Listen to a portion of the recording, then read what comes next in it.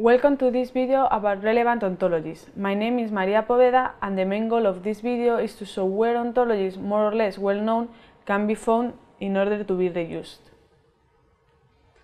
First of all, let's have a look at the different types of structured resources that there can be according to the level of expressivity.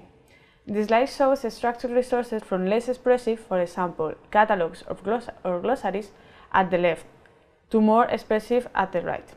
Traditionally, we start talking about ontologies when the resources include formal is-A relationships. Then some other elements can be added like uh, properties, value restrictions, or logical constraints. Ontologies can also be divided into inter interconnected or single ontologies, when they are isolated or reference them from other ontologies but not explicit meta-properties has been defined. On the other hand, an ontology network consists of interconnected ontologies by means of explicit meta-properties, like for example, the import relationship. Nowadays, there exist numerous of ontologies published on the web that can be reused when building new models. Reusing ontologies helps reducing ontology development efforts and it increases interoperability between models.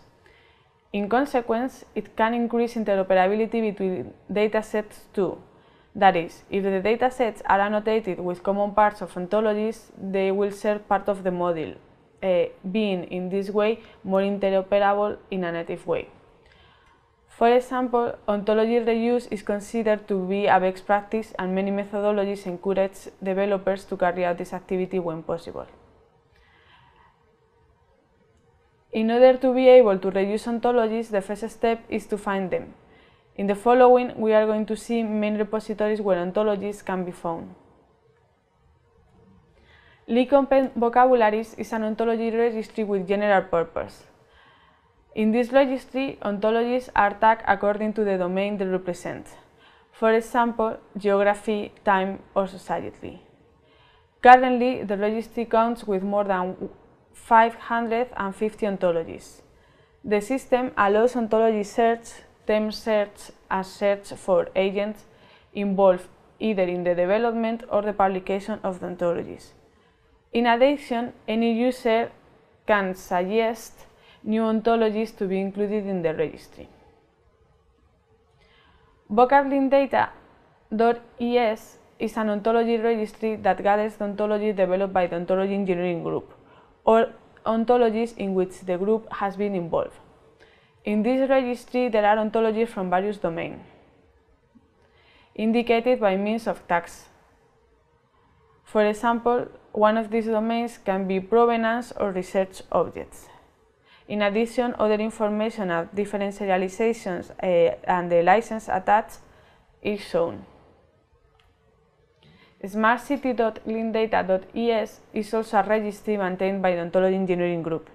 In this case, the register ontologies are related to the smart cities domain or cross domains that can be useful in the context of smart cities.